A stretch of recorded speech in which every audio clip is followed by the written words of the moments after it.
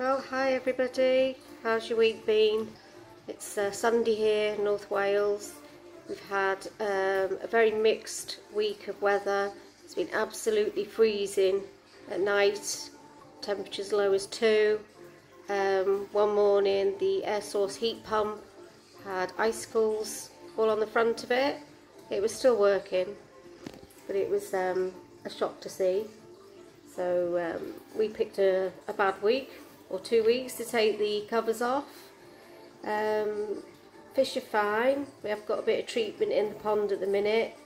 Um, we'll talk about that in a minute. Also, um, we decided that we would put the um, air bubbles off um, during the day on the bottom drain, switched that off all day and then only had it on in the evening overnight and we've noticed that the um, sieve is picking up double the amount of mess than when the air is on.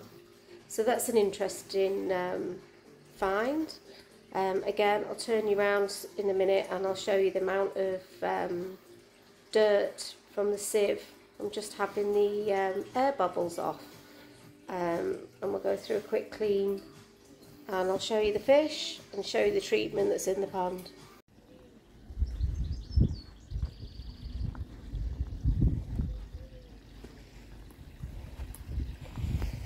Now, quick look at the fish. Water's a bit blue tinged at the minute because we've got some treatment in because um, a few of the fish were flicking and um, just you know your fish. By looking at them they didn't look too happy so nipped it in the bud and put an all-round treatment in. So the UV's off at the minute. Bubbles are off all day to save electricity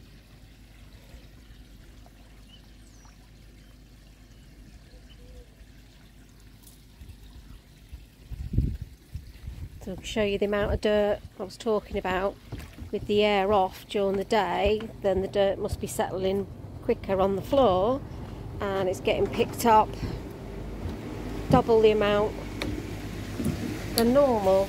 So let's clean it now. So you look at all that. We only get half of that normally during the day. So Chris will get it out and show you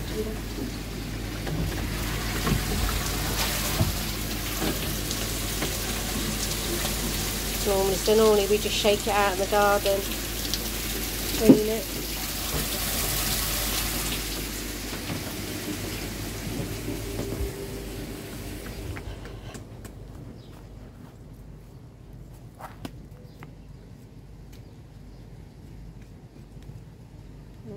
That's it. Wildlife pond's doing alright. I've noticed we've still got the three goldfish, so they've wintered okay. The old um, heat pumps on.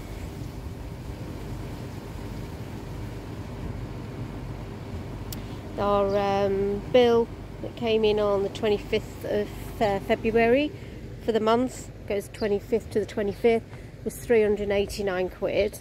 Um, January and December. December was 560. Some of you might want to sit down at the cost of that, but it was on um, a kilowatt. That's for the whole house. It was on a 2 kilowatt um, electric inline heater.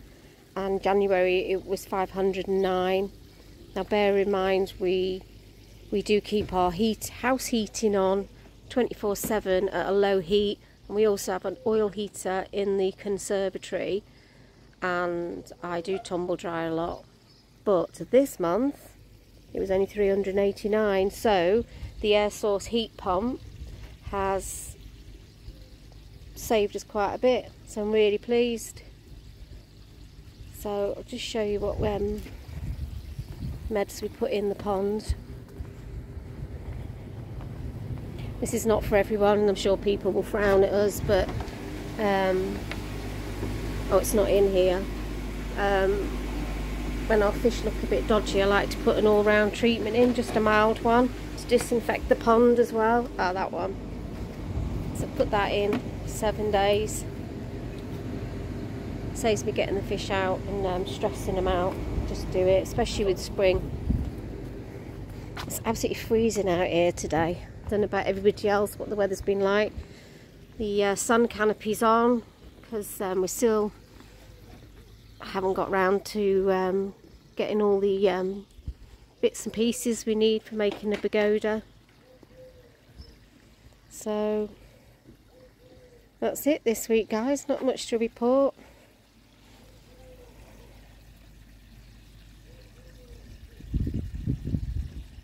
Um, Jet, the Showa, nearly jumped out the pond in midweek.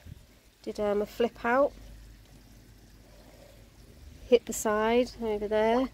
Managed to stay in the pond. Lucky enough I was in the conservatory so if he had jumped out we'd have um, saved him. So like I said we've had a few flicking and a lot of um, mucus build up on the koi. So we've done the treatment.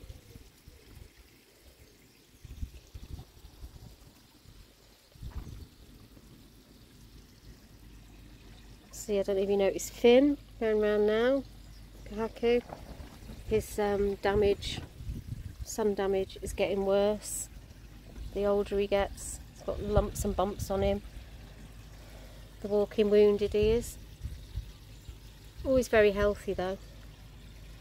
You can see where he scraped himself last year on the on the um, skimmer before we netted it, closed it off. It's then um, instead of healing, it's just come up in little fleshy bumps. Time for a bit of sweet corn from Aldi.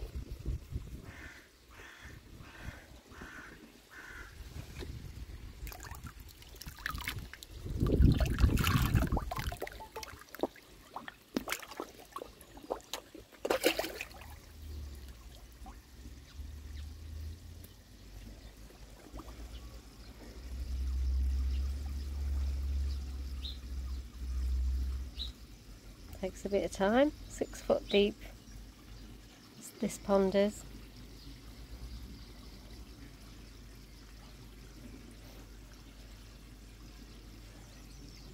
Always makes me laugh when um, we give them sweet corn because then tomorrow when I go to clean the um, sieve all the casings are all in in the sieve where they've um, ate it and spat out the casing.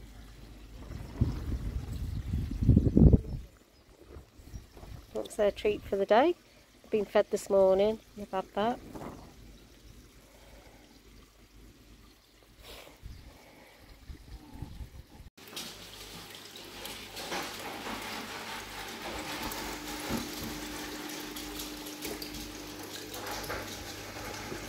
Yeah, it's the third water change this week, doing it every couple of days and testing with um, tester strips. So it's um, cycling at the minute so keep changing the water every couple of days till it matures. Cleaned out the floss, that was quite dirty. And then I'll top it up. They're still quite shy, but they will come and feed in the feeding ring in the morning. I've um, been rattling the fish food so they get to uh, recognise the sound. Hopefully they'll come out a bit more. Bob the fancy goldfish is in there with them as well. So There we go. All fine. The dirt's come out of that one tiny little sponge out of that filter that's running the shower in one week. Mm. So like getting them off, it's getting them back on? Yeah.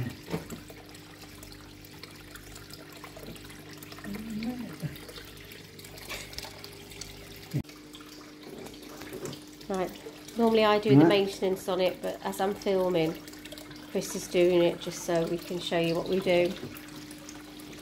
So we cleaned out the little sponges in the filters. The back one didn't need cleaning, that's the one with the UV in. This one did. Um, so nice big water change. Let them go in.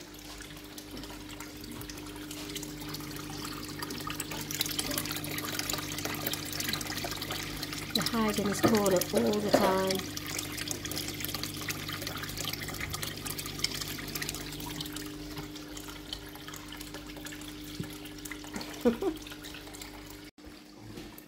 right, so it's had its water change. Obviously we always put a bit of dechlorinator in.